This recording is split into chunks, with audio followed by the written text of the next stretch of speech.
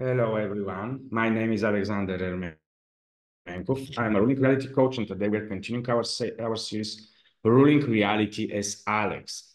Today, I would like to work with you together and to speak more about the hopium reality and everything that we as humans are understanding about the hope. Why are we using hope and how to use it in a way that it becomes a tool for us and a utility for us and not just something which is far away or something that we are afraid of or something that we don't know how to use. When we were, were little, all of us were dreaming, all of us were hoping, all of us were into imagination.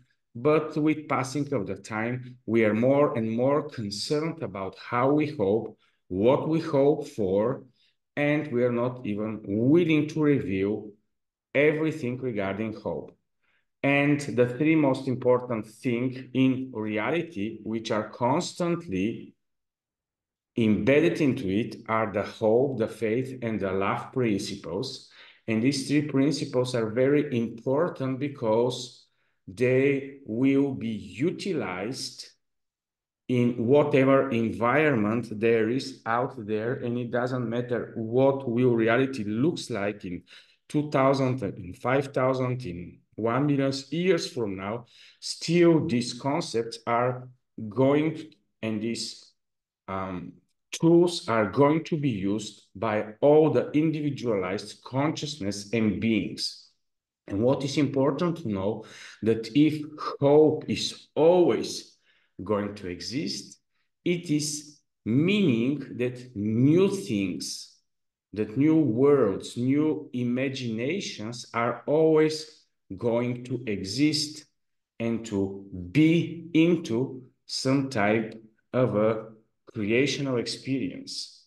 The important thing in order to learn how to work with hope and to not go into hopium which I am willing also to explain, is to know how and when and for what purposes to use the hope principle. It is very hard and to some extent it is impossible to work with hope connected to the construct of the reality.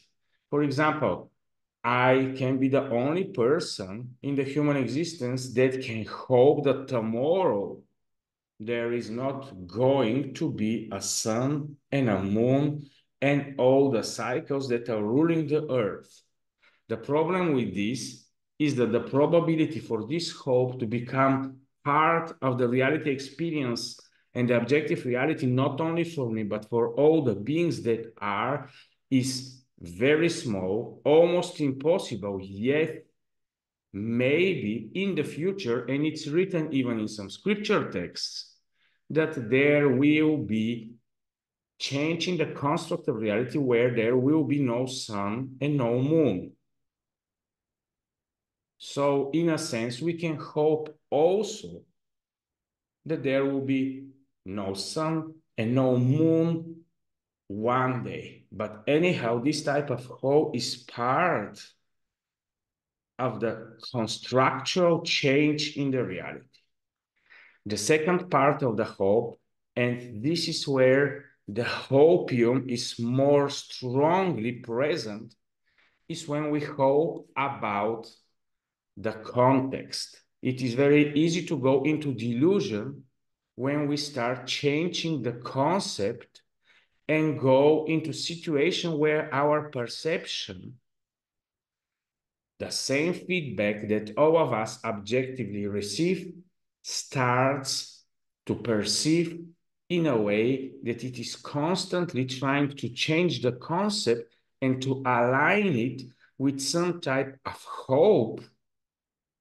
And what is a hope? A hope is a picture of the future that maybe will become part of the reality for all of us. The problem is that when we hope, we acknowledge that it is not in the moment. So, in a sense, this tool is like an anchor that we place deep forward into the future, and then we have a problem. Because if we are trying to live only based on this hope and all our reality is going to pull us into this direction, we need to know how to use all the utilities of the hope and to use it for the right reasons and not for the wrong. Because if we stop existing in the now and only go into hopium and only imagine what if all, that we mentally picture is possible, and if we live for the day and we can mentally visualize it so vividly that this is our moment, when our hope becomes truth, only then we are going to be something. Only then we are going to be fully us. Only then we are going to express who we really are. Until then, we are not going to be who we really are.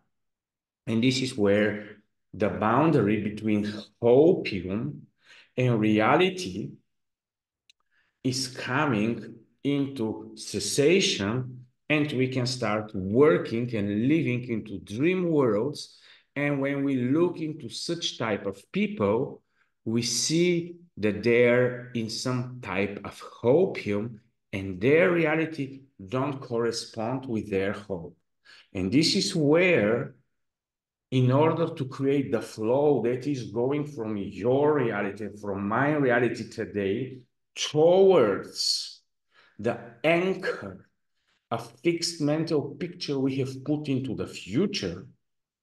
That's why we are to use the second utility of faith to create a flow that is moving towards this direction. So when I'm expressing my hopes for the future, I'm also expressing my flows that I'm creating right now and the reasonings why I'm doing what I'm doing into this very moment, into this very reality, and why I'm seeding exactly these types of narrative, exactly this type of intent. And this is when I'm expressing my agenda and what is the direction I'm going towards the future. And then a lot of us are going into different type of discussions and arguing which is the right hope. And the problem with hope is that hope is not a final destination, but the hope is a utility tool that we are to use in order to get focus and attention towards what we are willing to move forward. Is there a difference between the goal and the hope? in a sense there is because hope is more like aesthetic extraction of the future into the now. And here, of course, there is another strong principle that we are to realize. And for me, it was very hard to realize it, that basically we as human beings, we don't change we only allow for ourselves to what extent we are expressing what is inside of us. And of course, then we say that this is the change because our external ecosystem of the now in the reality is expressing in any moment who we have allowed ourselves to be in this very moment. And if we draw from the future expectation and hope and start expressing it into the now, we are actually seeding part of this future into the now.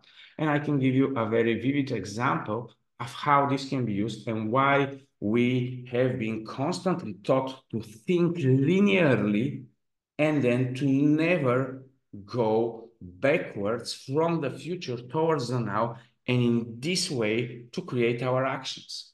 If you open a book with a very strong and powerful story, and if you start the book from the end, and go backwards towards the beginning, every previous chapter starts to make sense. And I did it on purpose with one economical book where one person was explaining his experiences in life and how he was dealing with business and how he bought companies and how he failed and so on and so on. But when I started the book, I started it once from the beginning till the end. I didn't understand a lot because I listened uh, several times. It's approximately four, five hours.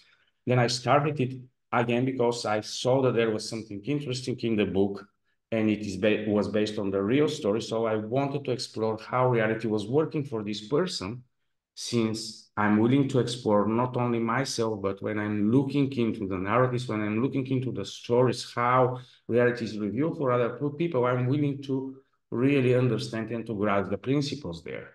And when I started from the end of his life, where his values were to be in a great state of well-being, to have time with his wife and family and so on, and moving backwards towards his overachieving years of successes and how he was strongly thinking that if and only when he is a strong billionaire, if and only when he is compared to all the big moguls in the business, only then he was going to be success. But in the end of his stories, when he was between 55 and 65, he had started to have issues with health and so on and so on. He moved away his life towards the center and towards well-being. And when I started the book from the end, it started to reveal to me from the end, from the most beautiful picture of harmonious life, moving forward, and we see all the fluctuations of life and how little by little, through the experiences that reality was giving to this person, he realized the most core purpose of the well-being where not the expressions are important, but the essence of who we really are. And you can see through this person's life that he was actually the same all the time, but he needed to reveal it for himself, who he actually was during all this period of his life experience. And this is how we are to use hope. If we hope and allow ourselves to imagine us into a different ecosystem of what we are expressing today, it only means that we are confident, not that we can be tomorrow this, but the potential of us expressing this type of ecosystem into the reality in the future is right now vivid and possible for us to start expressing. And of course, this is important because when we intentionally know that we like this type of mental, hopeful picture of the future for ourselves, we are not to start ignoring who we are in the moment, but we are to start working through ourselves, with ourselves, with everything that is part of who we are and to start moving to allowing for ourselves to express more of who we already have connected with from the future. And this is where faith is giving the substance of the whole hope of the future mental picture we are dreaming for. This is the right way to do it. But when we go into the hopium reality, we are do doing something totally different. We start ignoring what is in the moment. We don't give the right actions towards the future, and then we start engaging with impossible miracles that are to shift something for us and through us, but instead of us. We are trying to outsource the hard work of who we are willing to be to somebody else, and it is not allowed normally through the power of freedom into the reality.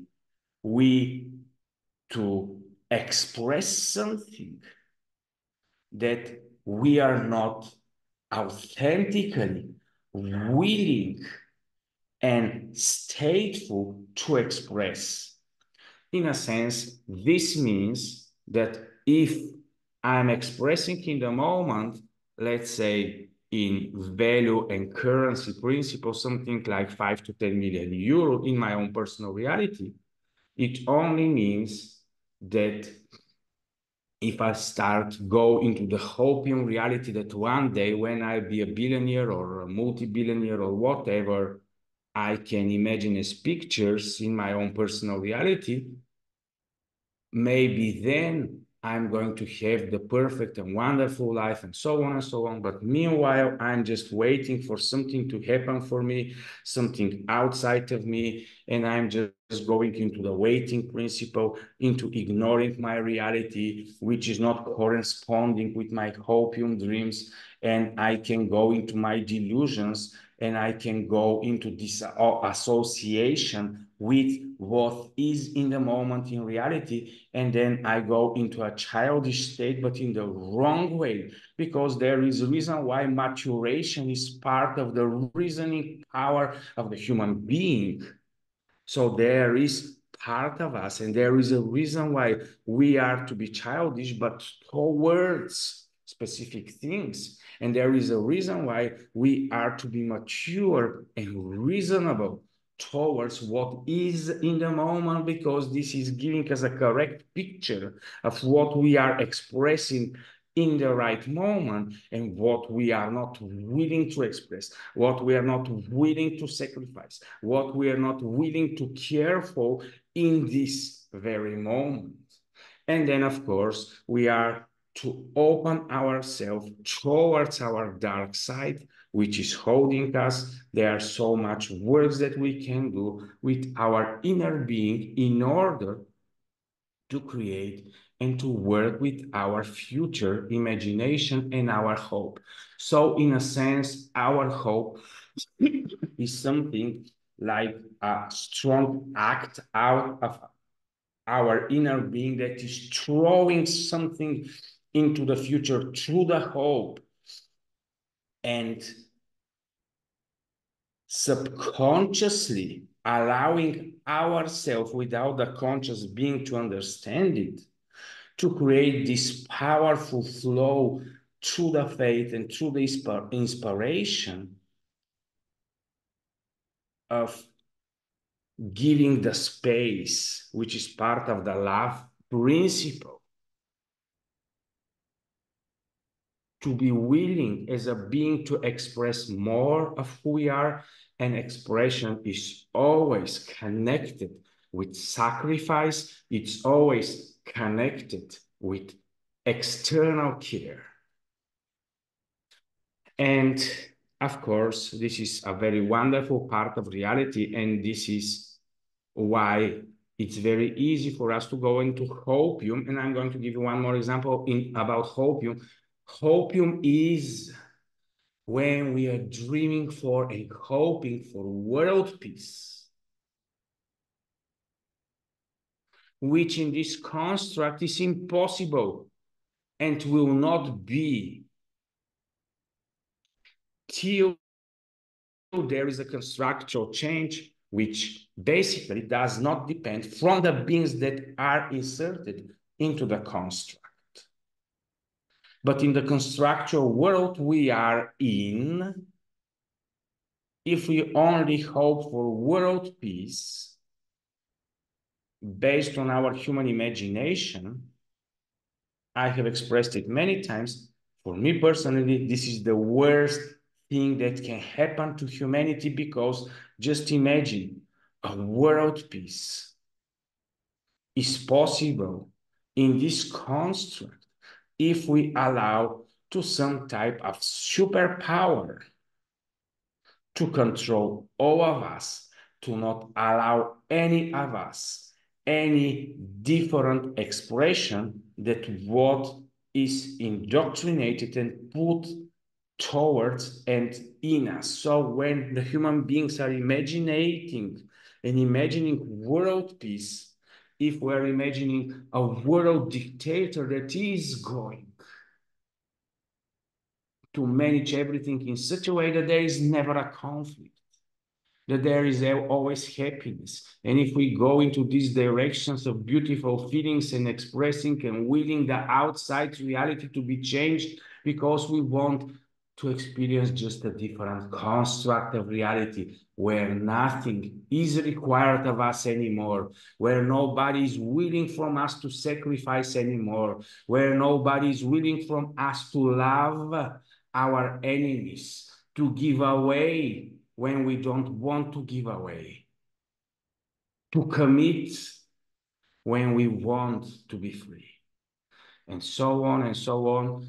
And for me, this is also part of the hopium when the construct is clearly expressing to us that conflict is there for a purpose, that the balances of powers are going to be in collisions in order the next transformation to come. And long term, the priorities always fall. Some other comes into the power, and then this empire falls, and another thing comes into a power. And meanwhile, we as human beings are constantly experiencing not constant peace, but we are always part of the cycles of this reality in the moment where death and life, war and peace, and all the different cycles are always working. It doesn't matter if we are so strongly into loving only the light. And we can say to ourselves, Alex, I hope that one day there is no darkness anywhere, that it's only light. And when there is only light, everything is so wonderful. I can just imagine it right now, how the light is all around me. It's all around us. There is no darkness. There is nothing what we consider as evil. And it is wonderful. But there is a reason why it is not like this. And there is a reason why we are to accept what is as a fundamental of working with hope and to know that hope is not what is in the moment. And anyhow, during this reality, we are just partially experiencing, and we will always partially experiencing which is possible. Is it possible a world peace to exist into the cosmos of this reality long term so that the forces that are balanced in such a way that they don't contradict each other because in the moment the construct is based in the building blocks of the construct balance is based on the contradictions. Without the building blocks of the paradoxes of light and darkness and everything else in reality that is in constantly forces balancing themselves in order we to experience the existence. And if we go into imaginations of different types of constructs where maybe it is going to be better for us, we don't know what we wish for. And that's why when I'm using the hope principle, I'm not in a situation where I'm working and being in the sense that I'm in a hopeless condition. I'm working with hope but I'm also working with judgmental considerations of when why hopes are becoming hopiums. And it is very easily done because we are afraid to work outside of mental perceptional constructs and frames we can call taboos. In our reality, we know that the light is good, and darkness is evil. Why? Nobody can explain. In our reality, we can say this is good and this is evil. Why? Well, we think so, and so on and so on. So I'm strongly long term as more as more as I'm working with the whole principle, I'm also discerning the whole opiums that a lot of people and the bubbles a lot of people are going into and how I understand that it is a bubble, how I understand that I have come into a hopium. Because when I look into my present reality honestly, and if I don't see that for me it is a lot of movement, a flow towards what I hope for, it means that I have come into some cycle of deception, of delusion, because I'm not bearing and not expressing truths that are leading towards what is possible according to my hope principle of my mental picture of the future I have seen. And the other very strong, powerful principle about the hope principle is that it is very easily able to attach us to reality and to stick us to reality in such a way that we're ignoring and sacrificing, and it's not even the word sacrificing, but we are ignoring and not considering anymore anything else, but we are just stuck into this mental picture of the future. And it is holding us and squeezing all our life force. This is why we have this type of scriptural pictures like Abraham's story where he was promised a son and then there was a son from Sarah and then out of nowhere he was asked to sacrifice his son. His very hope for a future generation, he was asked to sacrifice his hope today, years after this narrative, thousands of years after these narratives. There are fights. We are killing each other because of this hope of this story of some person that his story is telling that through this specific promise, there is going to be for you a future generation of people and so on and so on. And today we are interpreting this storytelling and we are trying to fight with each other about something that was ordered first to be sacrificed. Sacrificed in this scenario means that there is no hope. Doesn't matter what is, if we cannot reject it, and if we don't say, well, even if this future don't ever be, I'm still going to work with this tool of hope and move towards this future. So in the story of Isaac and uh, Abraham and the sacrifice, we hear in this story, it, it was also in other ancient religions, but here it's more important to find out the principle because we are to understand what is the difference in the narratives between logos, mythos, and how the programming of the human perception and the human consciousness is happening through the centuries. But this is part of all other different topics. But the important thing here is that if Abraham was willing to reject this type of call and was not able to sacrifice his future, it was going to destroy him and he was never going to be allowed to have it. So when I was maybe 10 or 15 or 20 or 25 years ago, doing my mental work regarding this type of perceptions. And I was imagining myself being rich in the future. And I was saying to myself, well, what if one day my children are getting kidnapped? What if they are going to be killed? What if my wife is going to be killed? And I'm okay with myself and I'm also willing to perceive the most dark future for myself and I'm willing to accept it as strongly as the most beautiful future for myself. So in my own personal reality, I have already relieved my children that my wife that I being dead, everything in destruction in my own personal reality and its future because it's also part of the possibilities. But when you look and when we look into our future and we see all the destruction, we see all the chaos, and then we see what is possible on the other side of the building blocks of reality, where it is also possible beautiful things to exist. But we have sacrificed all the beautiful and we have seen all the darkness of the future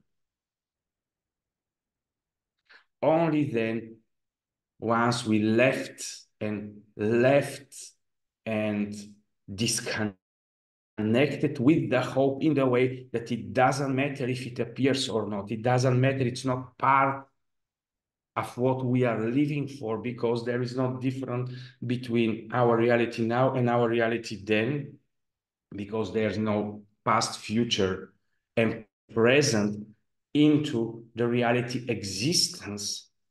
So the only thing we are able to do is today to allow ourselves to express a specific mental picture of the future that we are willing to see without holding to this future picture in such a way that it is controlling us. And this is where the hopium principle is dragging us into this association with reality, into not accepting what is, into not giving us the ability to see our real situation. And we want to, in any, any case, in any way, without any reasoning, to just imagine that we are this future and not giving a clue of what is going and what is required for us in order this thing to be and this important topic of sacrificing of our future and seeing how strongly potentially we are to express destruction as well as creation, only then we are able to work with this whole tool. Because, for example, in my own personal reality as a Christian person that has been introduced to this faith, based on my own personal experiences, not so much on the religion indoctrination. I've heard people saying that till the last day, we will never be sure if everything we are hoping for or believing for is actually true.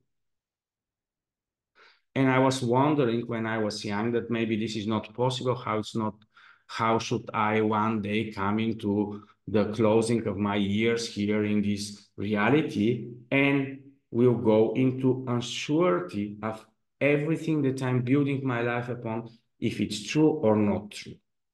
And anyhow, now I'm more mature, I'm 50 plus years, and I know that nothing can be proved as true or wrong. And only thing that is important to learn to use the principle of hope, faith, love, in such a way that it is bringing us fruits that are good for us and others, and that it is giving us the tools to be what we personally, from the inside out, would like to express into this reality. And in this case, I'm using all my principles. I'm deconstructing a lot of things, but still it doesn't matter. I will never become an apologetic where I'm going to defend a specific truth and tell you, okay, everything that I believe, everything that I have connected towards my future and everything that I have betted upon to be my future existence, I'm going to defend with all my energy forces. No.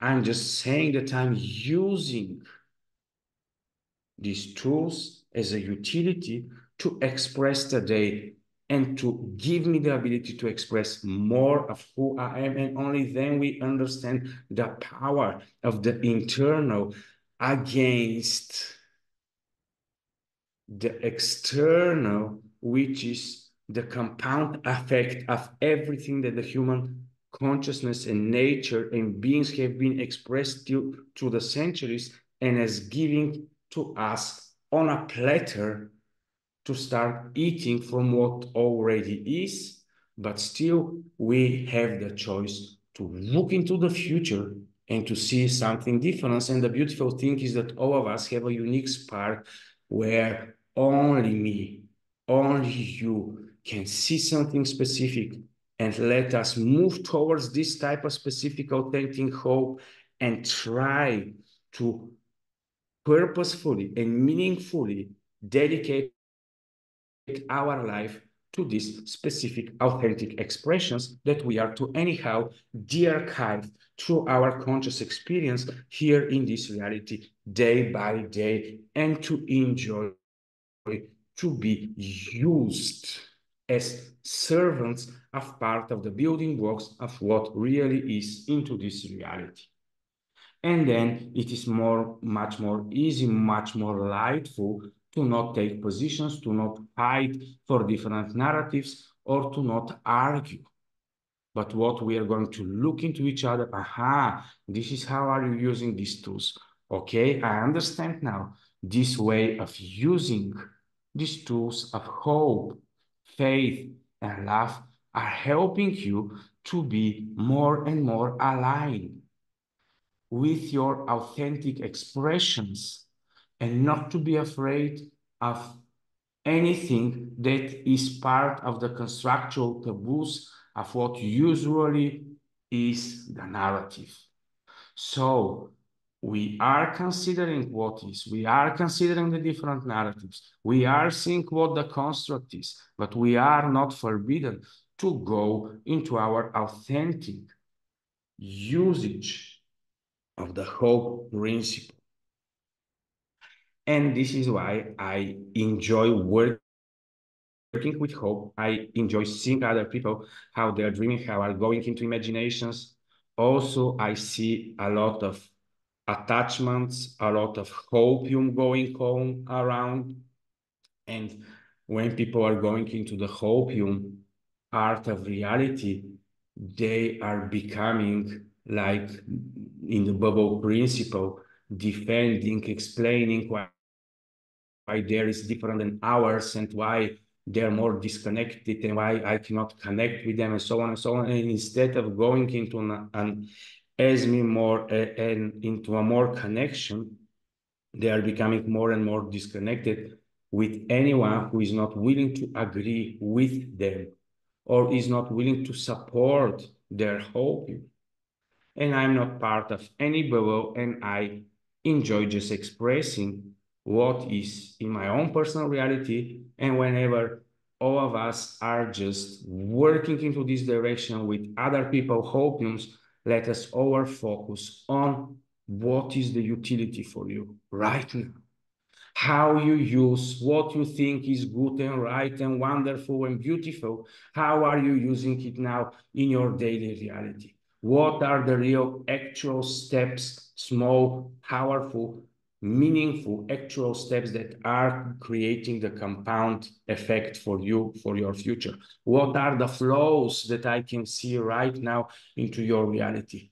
What are the things you are caring for? Are you a careless person? It is another way of saying you are a hopeless person because you haven't just put from your inside out an anchor into some specific future. That's why the people of hope are people of purpose, people of goal, people that beautifully can just be a utilizing part of this reality. But people of hopium are going to disdain us. We are not going to like them because they become very dogmatic. They're willing to fight for what is their vision, so on and so on. We have seen a lot of different pictures and all of us can make a lot of examples about this. But for me, this is the important part about hopium and hope and how to use these three principles of hope, faith, and love. And just remember, and for me, this was one of the strongest part of a revelation is that love is to give space for otherness to exist. I know that we are all after oneness, but paradoxically, we all are confessing and saying how much we love the love principle. But the love principle is to allow otherness to be. So thank you for watching. Enjoy your reality. Always go deep into your mental thinking and use. And I'm trying to use and I'm trying to always focus on the unseen, on the inner world and on everything that is not part of the surface because the surface is part of the expressions. It is anyhow already happening and there it's only something that we monitor as observation, but with no judgments because it's already there.